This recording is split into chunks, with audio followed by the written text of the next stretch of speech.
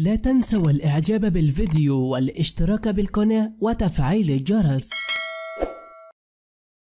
إحراز هدف النادي الأهلي الأول في نادي الهلال أحرزه من ركنة ثابتة. أحرز الهدف الأول ياسر إبراهيم في نادي الهلال وسط فرحة الجماهير المصرية. والهدف الأول أشعل الشارع المصري والفرحة تعم على الجميع والملايين. والكل يعرف النادي الأهلي أنه نادي كبير ونادي عريق الكل يحترمه ويحبه. وسجل الهدف الثاني النادي الأهلي 2-0 ياسر إبراهيم يحرز الهدف الثاني وسط فرحة الشارع المصري بأكمله بالنتيجة الجيدة في نادي الهلال السعودي. أحرز الهدف هدف ممتع جدا. وأفرح الجماهير والكل يعرف النادي الأهلي إنه نادي كبير ومحبوب جدا من جميع الأندية والجماهير والكل يقدر النادي الأهلي لاعبيه ومحبيه وجماهيره.